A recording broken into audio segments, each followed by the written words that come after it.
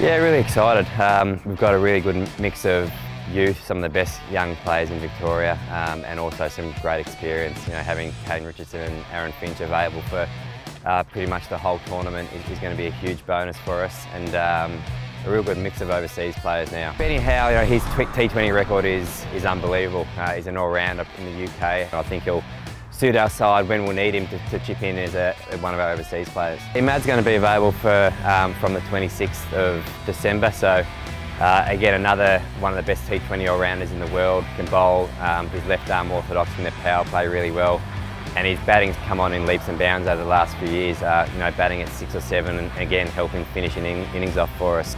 Yeah, Brody's a, you know, a young, quick, um, emerging quick. So yeah, he's coming into our, our squad for um, as a replacement early in the tournament.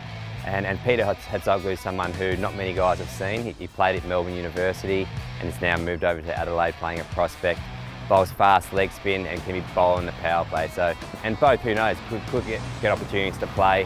Uh, and it, you know, for them just to be around the group, I think it's going to be a huge bonus for them to, to learn, um, I suppose, the, at this top standard how things work, but also if they get an opportunity, I'm sure they're ready to shine.